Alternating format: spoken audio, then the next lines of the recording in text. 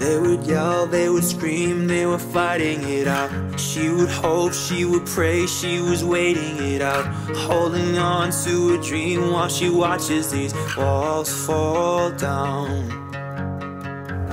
Sharp words like knives, they were cutting her down. Shattered glass like the past, it's a memory now. Holding on to a dream while she It is May 12th,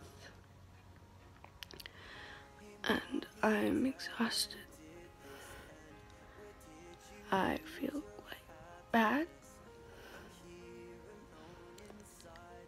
I don't know if I can keep doing this the way I have been. Um, some stuff happened. Um, someone I like got a boyfriend. Um,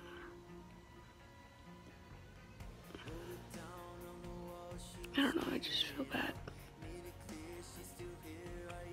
I don't know what's wrong with my mom this week. She's jumping on me for the things. I don't know what I've done wrong, apparently I've done something to make her mad. No idea what it is.